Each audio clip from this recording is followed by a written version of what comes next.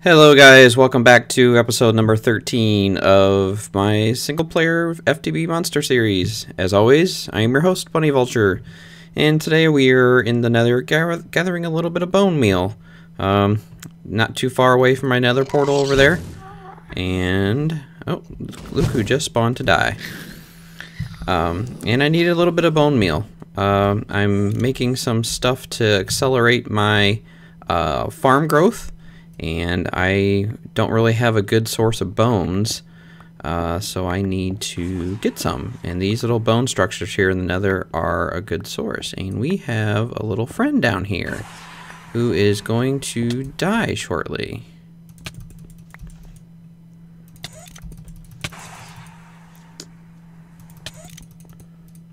Come on. There we go. There's a few of these around here, and I've gotten some ghastly souls here, but as you can see here, what uh, I'll fly over here to the next little structure and show you a little what I'm making. I am making these guys, lily pads of fertility. And what these do is these kind of accelerate, and I think I mentioned this in my last video, uh, these accelerate the growth of crops that they are around, and I don't think, not necessarily just crops, but pretty much anything that uh, grows. Um, they kind of act as like a bone meal. And uh, how you make them is you get uh, eight of these little splash fertilizer serums. Uh, you can see here in the tooltip, it grows crops in a wide square pattern. So uh, these have a pretty decent reach to them. Uh, so you put eight of these around the lily pad, and uh, and you can see how you I can make a lily pad, so I don't have to go out and get them, which is pretty awesome. Not having to go out and find lily pads to get. Um, but to make these splash serums, you need a condensed splash serum and you need some bone meal or some white dye. And to make these, you need some nether wart, gunpowder, glowstone, and vial of water. water. And to make a vial, you just put uh, uh, glass panes in a little uh, T or U pattern with a stick type pattern. And then you fill them up with water, and there you go. Oh, so yeah, I'm uh, gathering some bones here. And eventually what I'm thinking about doing is setting up some sort of uh, skeleton farm um, to uh, get a more reliable source. Ooh, cobalt, grab you. Um, just so I can have a better source of bone meal and mainly to just add the bone meal to my bioreactor farm so that I have another uh, source of good fuel. Um, I'll show you that when I get back to the base uh, of how that's going. It's uh, grown significantly over the last couple days of me uh, piddling around and doing some stuff. Uh, see if I can get down before it hits. Yes, I can. Um, so I, have done some miscellaneous things, nothing too major. I've hooked up the uh, tree farms to the AE system, so now they are growing. Uh, I've got uh, a ME um, limiter, redstone uh, emitter, redstone pulse emitter on them to stop planting the saplings once my uh, network has 500 of the sapling of any of the vanilla saplings in inventory. Um, so and then the planters have a pretty good. Oh, he actually hit me. Good for him. In in inventory, so that the planters have about 64. You know, have like what is it like a four by four or five by five area full of 64 stacks of stuff in them, and you are just annoying. Where are you?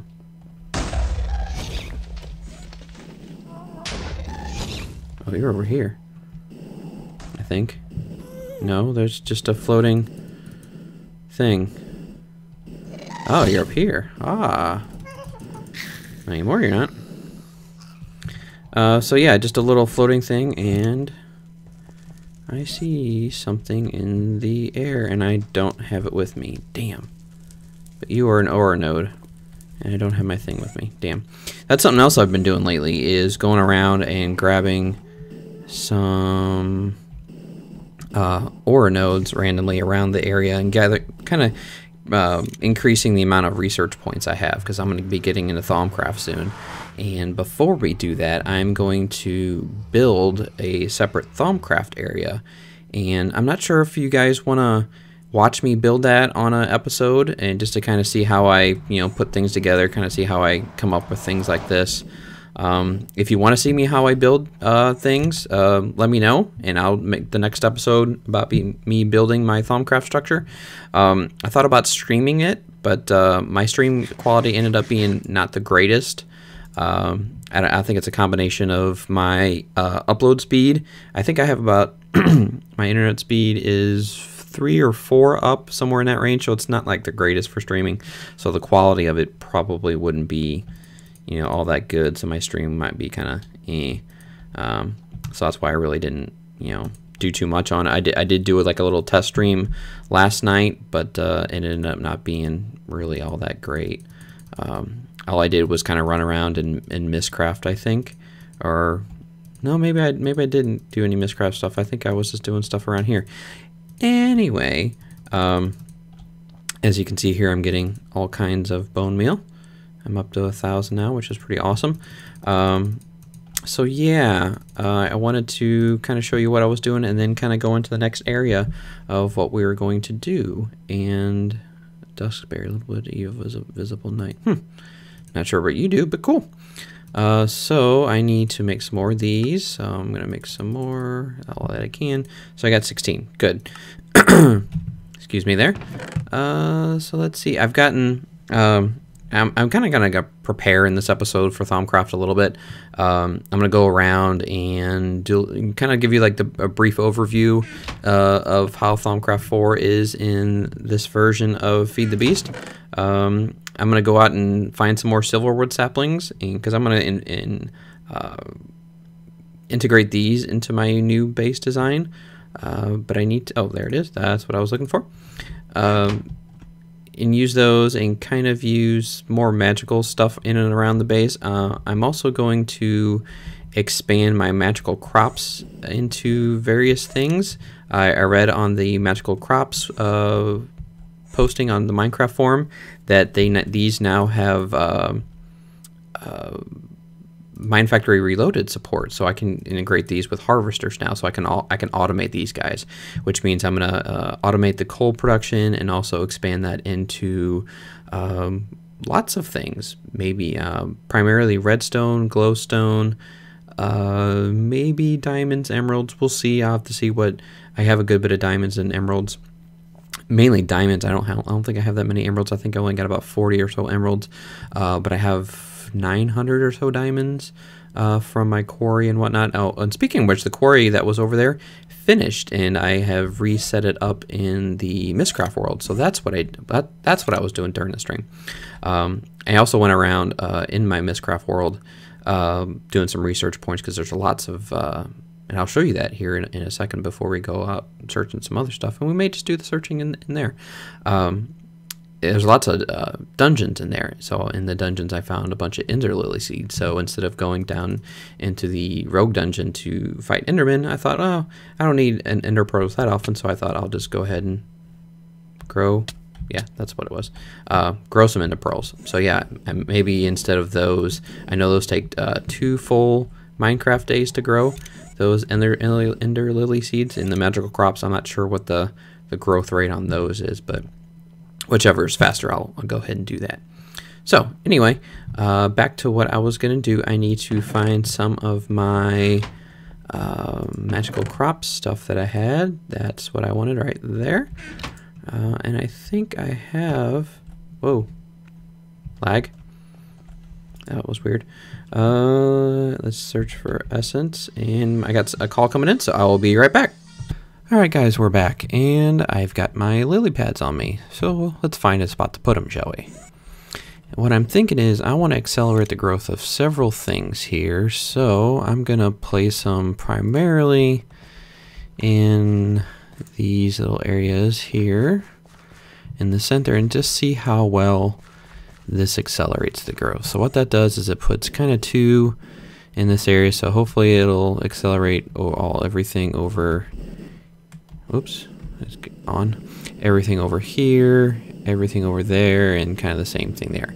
Now I don't have water here, but what I'm gonna do is I'm gonna try and put I think eh, some water. Yeah, I don't know. Should I accelerate the trees? They grow pretty fast. I don't think I need to. I kind of really don't need to accelerate these either, but I want to get these going so I can uh, accelerate these mainly so I can get more than one bioreactor. Um, and that'll give me, you know, that will allow me to essentially be able to um, make, oops. Oh man, now I need to till that. Um, essentially, accelerate the uh, production of the melons and pumpkins so that I can um, get more stuff going. And I keep on doing that. Uh, that's what I was looking for. So yeah, um, I just wanted to show you that, and I will be right back, and we can get started on the next phase of today's episode. Be right back. Alright guys, we are here in my Mystcraft world, and I will show you my quarry. So here's the new quarry. Pretty basic. Quarry here. Here's getting the power from my big reactor, and it's sending stuff into my ender chest. Now I tried having this hook up directly. You can see here on the test tesseract I'm sending items, but for some reason when I had the uh, item ducts flowing into here, it just wasn't going. Um, and I had the pipes going over here, and then I tried, you know, switching the output it would go in here, and that didn't seem to do anything. And then I'm like, all right, well, let me just try and rearrange it, and that was a big mistake. I hit the ender, uh, item duct with my uh, hammer here, and all of a sudden I had items spewing out everywhere. It almost it like almost crashed me. I couldn't move anywhere. I had thousands of entities all over the place. Um, so I had pretty much what I had to do was I had to shut down the client, go back in, um, delete everything out of my inventory, and just keep deleting till everything was gone. Um, then I was like, all right, well that's done. Uh, so I, I put the pipe back on here to, to essentially stop it, and then I went back to the overworld, got my ender chest, uh, slapped it, slapped it down here, and put the pipe on it so it could send everything down here. And as you can kind of see here, items are flowing pretty quickly into the sucker, and it's I have the uh, with the AE system hooked up to the ender chest. It's you know it's pulling stuff right out. And if you want to know, if you're curious, this is a max size. In the my last quarry was not max size on the Quarry Plus, but this one is. Uh, since I had a flat surface here to deal with, it was much easier to lay down the uh, marker pluses and get everything measured out. So if you want, I will show you just how far this quarry goes out. So that was the edge, and then it just keeps on going over here.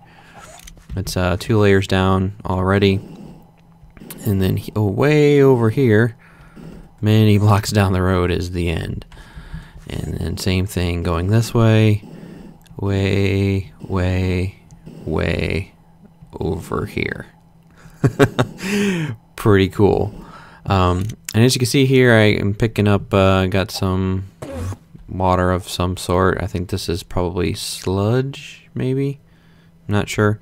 Um, so yeah, I'm gonna have that flowing down into here. So that part's gonna. That's the one downside about using uh, a quarry not in a flat surface, or, or rather not underwater or whatnot, because I'll have crap like that, you know, flowing into my um, world. So, but I think I can stop that real easy here, and real simple like just by going like that, and that'll at least get rid of that. Now I got some others here uh, from you know other you know ones that were just already existing like this one. So uh, I don't know what I'm gonna do about that. Um, and then I got a source source of oil. Oh, that's kind of rude. Um, um, from that, but I'm like, eh, I won't worry about that. And I got a chunk error there, but I'll let the uh, worry about, worry about that when it gets to it. So, in the meantime, we are going to go exploring and see if I can't get some more uh, research points. And as, in essence, what you can do to get research points is, um, well, actually, let me uh, me go back to my overworld, and I'll meet you right back there. That way, I can start from the beginning instead of kind of starting in the middle of things. Be right back. Alright guys, I've returned, and to start off the Thaumcraft process, we're going to need a few things. Uh, one of which is a research table. Um, and you can see here I've got mine here and with some stuff in it. But to in order to get to that, we're gonna need uh, well, you can either make you can make the table right off the right off the bat if you want. Uh, and that requires where is the table right here is just a plain table from the Thaumcraft mod and to make this you just need a couple planks and then slabs on top you make two of these you put them right next to each other and then you make a scribing tool right here no, not that. No, not that. This one. And all that is is just a glass bottle, a feather, and some ink of some sort. Makes that, and then you just put the uh, glass. You just when you put the table down here, it makes up the the long table like this, and then you just put the little scribing tool on top, and then it auto forms into this thing. Now, the paper and the scroll aren't there by default. Usually, it's just it's just the uh, little scribing tool there, but I have the uh, the research notes here already in the paper, so that's why you see them on top. The other thing that you're going to need uh, to kind of store all the research that you need is the Thaumonomicon, and in order to get that, you need to make a wand. Um, and you're going to start off with the basic wand, and that is just an iron capped wooden wand. And that's basically just a stick and then some iron caps on either side. And to make that, it's just a little iron nuggets and kind of like the uh, the cap pattern. And then you just put that on either either side, and then you're good to go. But in order to make the Thaumonomicon, you need to make a regular vanilla bookshelf, throw it on the ground, kind of like you would, like that, and then use your uh, wand on it, click it, and then it becomes a little shiny little book. And that stores all your recipes and whatnot. And you can do kind of research, you can look up stuff and whatnot. Kind of works, functions in the same way as uh, Thaumcraft 3 did, but where you can, you know, flip through the pages and see how things are made and get a little background on all the items and whatnot. So, kind of cool. The other item you're going to want is to make is this th Thaumometer. And to make that, you're going to need one of each of the uh, sh uh, shards that you get in the world, uh, like the earth shard, fire shard, all that kind of stuff. And if I can find the recipe here, here it is. And I think I'm pretty sure when I made mine, I, I just kind of threw my shards in any no particular order, but I'm pretty sure it has to be in this exact order. Um, and I think that's you, you can kind of tell that by the way these most see how this middle thing is kind of changing colors uh, and a lot of recipes with the, these you know if it's like the same thing these will all always change. Um, but this one's not changing as you can see here. So I'm pretty sure the shards have to be in this exact order and then you have gold and then a piece of glass and this can be any type of glass judging by the way this thing is uh, changing like that. So you put that little thing and then you get this th Thaumometer. And what this does is you just point it at blocks in the world and you right click and you you can see down there on the right hand uh, corner that nothing can be learned from this particular item. And what that does is it gives you research points. So you can see here on the chest, I've already uh, right clicked on a chest before and I've gotten three of tree and four of circle. I don't know what those uh, aspects are right off the bat. Uh, I haven't done much research. There really, there's a lot of aspects. Um, there's primal ones like earth, air, fire, water, stuff like that. Although they're not really called that. There is like uh, fire is ignis, water is aqua, uh, air is air, but A E R, um, and uh, on from there. And then there's you know lots of different ones. Um, like you can see, there's aqua, uh, ignis, uh, instrumentum, iter, gelum, granum, limus, lux, herba, bestia. Lots of things you, you can make, and you can. Um, get a lot of them by like combining a couple of them by doing this and um, the, I'll go into that later when we get down into the uh, more compact stuff but essentially what you want to do is you want to run around the world uh, when you first you know first start and just point your little little circle at everything. So like here, here just click and click and you know click some more and I'll click this. Oh I got something. So right now I, I click the ME interface and I got one research point for Vitreus, two research points for Ordo, and something for something else. Four for Metallum, I think that's that little uh, thing is. And Wrathlamp, let's do the same thing for that. And I do not have all the knowledge required to understand this.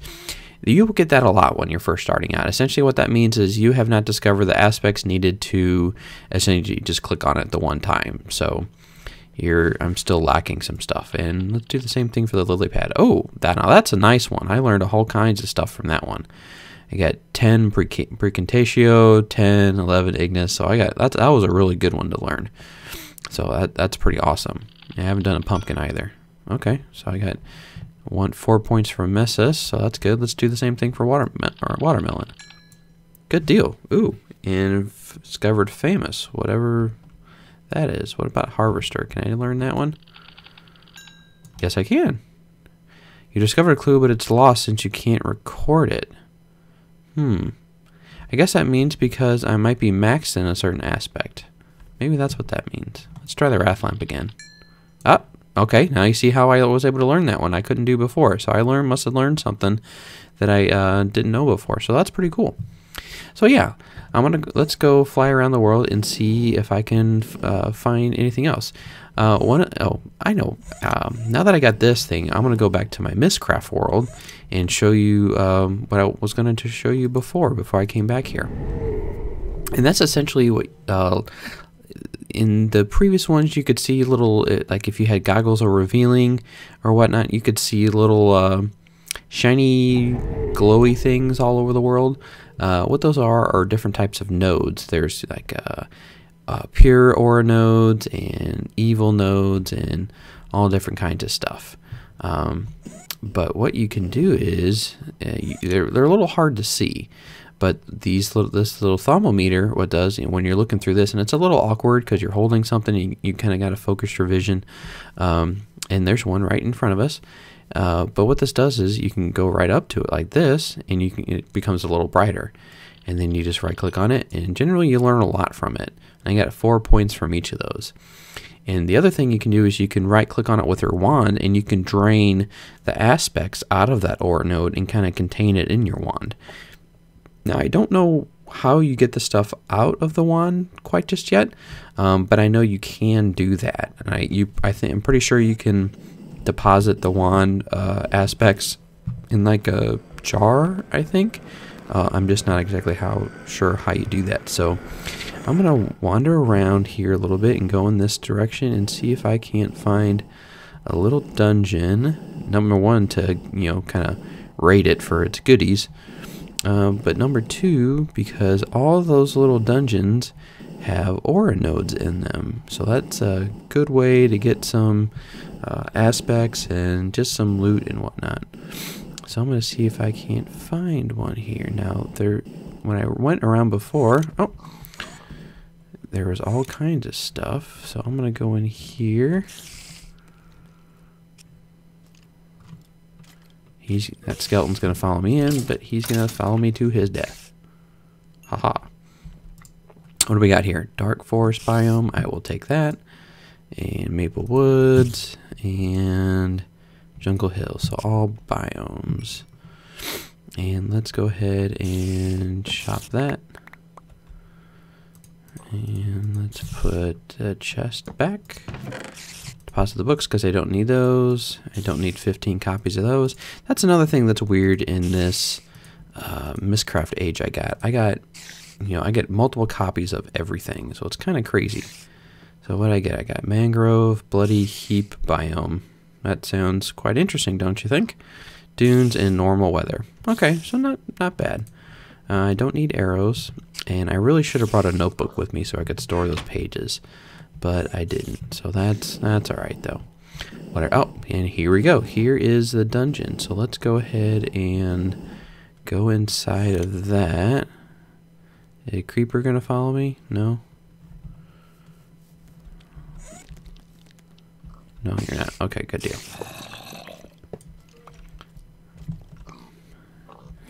And the thing I want to do is go destroy, kill Mr. Zombies here, and get rid of these guys because I don't need those. Although I do need to figure out, uh, see if I can't transport those some way. That would be really nice if I could just transport them off somewhere. That way I could, you know, take advantage of the bones and whatnot. So here's the aura node, and that looks like kind of like an evil one. But let's go ahead and scan you. Yeah, it's a sinister node. But again, I got a good amount of items from that. And these, this, in Mystcraft worlds are, are pretty good, good for this type of thing. If you can find like the uh, dungeon page or whatnot, it's kind of cool to, uh, you know, get some stuff like that. So here's some knowledge fragments. Those are those are good.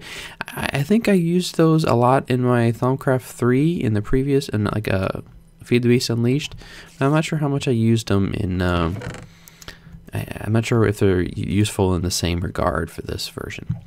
uh, another quartz. I will take you, and there's here's some here's another magical mod, uh, blood magic. This one looks kind of cool. I'm not exactly sure how to use it, but um, since it's you know you know free, why not take it? Sure, why not? And ooh, oblivion frame. So if I when I, once I get it and start doing bees, I'm definitely gonna do that. Whoa, what? What happened there? Did a creeper fall on me, maybe? I guess so. Well, that was kind of rude, don't you think? I don't need any of that. So I'm going to put you all in there. I don't need you, don't need you, don't need you. Don't need you or you. Huh. I guess it was a creeper. Alright. Let's see if I can get out of here without getting locked in. Alright, so I'm going to fly around and see if I can't get a little bit more aspects, and then I will join you back at my research table. Be right back, guys. Alright, guys, we are back, and here we are at the research table. And what you essentially do is you got piece of paper in here along with your scribing tools, and you can kind of click on an aspect you think you want to understand. Um, so I you would kind of click on, I think on this one, I've been doing, um, I think it was fire maybe, or no, I'm not sure what it was I did to get started on this. But essentially you click on an aspect that you think you want to, you know, mess with. You put it in here like that, and then you click this little green button and it pops over over here. And you get these little undiscovered or unlinked or or nodes. And this one is if you find a recipe, it's one hidden up. And you get a research note telling you what you're trying to learn. So you got to think you got to think of what would, you know, be included on here. And now there is a uh, kind of a cheat sheet online uh, on the Feed the Beast forums if you want to go that route. Um, this Thaumcraft's kind of a uh, intensive and kind of a, a grindy um, at mod and you need a lot of research points to go back and forth and I'll show you why research points are kind of a pain in some regard. Um, you see here I got 76 of fire but you see I only got 4 of Fabrico. And what you do essentially is I'm going to go ahead and use one of my Fabrico here and what you do is you put that in here and like I said what that does if it's in your chart it shows up here and what this does is that you, you're what you the idea of this is to link all four or however many there are of these little uh, dark purple ones to the shiny blue ones. And what you do is you click on the aspect and then you click it over here and try and link them up. And each of these little runes cannot be more than one uh, space away from the unlit runes to link them up. So this one is one down and then one over. So this one's okay. But this one is one down, actually one down, but it's two away from that one, and it's much farther away from that one. So this isn't doing me good, so I can't really move that at all. Um, so I don't necessarily want to do anything with that. I want to see where the other aspects are. Um, so let the other one I know I need is Praecantatio. So let's see where that one's at. Okay, so now that one's this one. So this one is one over and one up. So this one links okay. Um, but this one is not. So uh, what I'm going to do is I'm going to move you down and in order you can't move these see when I click on them these don't move so in order to you got to turn essentially turn them, the runes off but every time you click on one it uses an aspect so now I can move this one over that way and let's move you one more.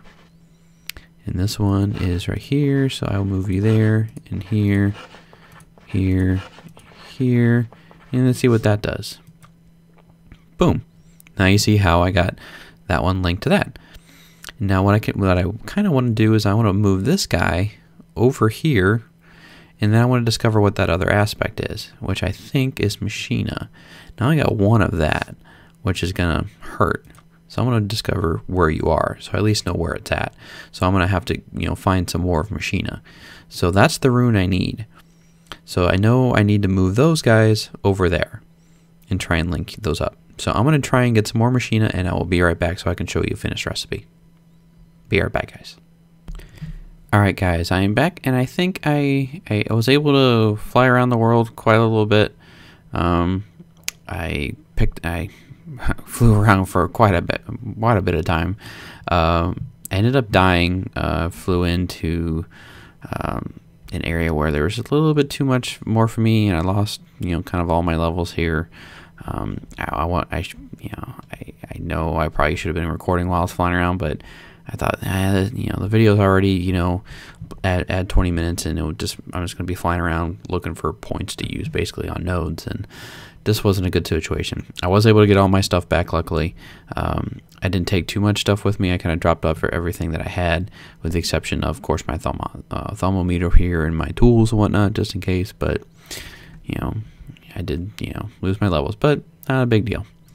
Anyway, I have moved the little shapes here into position, and this one is now uh, one over and one here, same distance for here and here. So uh, hopefully, cross your fingers, I should be in the spot where I should be able to connect everything. So let's see. Ta-da! Oh, not, not good enough. So I'm in good position for this one to click, but I'm not here to connect these guys. So let's go ahead and move some more out of the way. But I can't do that without some more scribing tools. So I'm going to have to combine the ones I have because I got some weak ones, I believe. Hmm. Maybe not. Let me grab one. I'll be right back. Okay, I am back. I have a new scribing tools and actually ended up moving my Fabrico around too. So let's see if that did any good. Okay, so that connected that one up. So now I got these little two. So did this work? No. Uh, this, this is the part about research that is quite frustrating.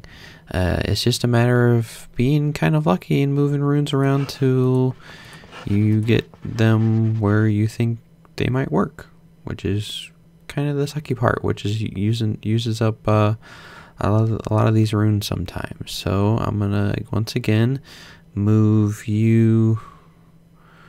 Uh, let's. I'm gonna switch these positions. Maybe that's what I need to. Maybe these can't connect. Well, yeah, these two can't connect to themselves. All right, be right back. All right, guys, we're back, and I figured it out essentially what had to be done, and it, it kind of clicked when I was reading over the Thaumonomicon, and this is one reason why you want to uh, make that, is it kind of gives you hints on what you do. Um, so I was I was here on the basic information tab, and I went here to the research area, and essentially near the very end of the book, it tells you what what you do with the research. And it tells you each rune is linked and whatnot, and active runes act as possible bridges and whatnot. And you need to, this part is kind of what kind of stuck with me. Is like you need runes to create a chain. And the word chain is kind of what i focused on there and essentially what i was doing here on the workbench was i had kind of like a little line going here and then I tried to go up like this. So I was kind of, it wasn't really a chain. It was more like a line and then a, a midsection going up. And I think that was what I was doing wrong in uh, research for my other things. And so instead of a, a straight line connecting all the runes, I was kind of just branching off. And what you don't want to do is branch off. You want to create a straight line as possible. And the other problem I had was I had, had them in this formation, but it was just connecting from here straight over to here and that was a problem. It wasn't it wasn't connecting up to here for some reason. So the other thing I had to do was move a blank rune kind of in between these two guys so that it would force the connection up to that top rune because putting a rune here blocks the connection from this rune to that rune, forcing it to go here. So that's my you know my little research and once you complete the chain they all light up and your little notes turn into a discovery and then you take the discovery into your research bar and you simply right click it and you've learned it. So now I have learned infusion. So now I can move on to something else. Anyway, guys, that's uh, all I'm going to cover today. Uh, in the next episode, um, let me know what you want to see. If you want to see more Thaumcraft, or if you would like to see me building the room for my uh, future Thaumcraft uh, research and creation of stuff. Um, or if you want to see me do something completely different, let me know in the comments. Thanks, guys. Be sure to leave a like, and I will see you later. Bye, guys.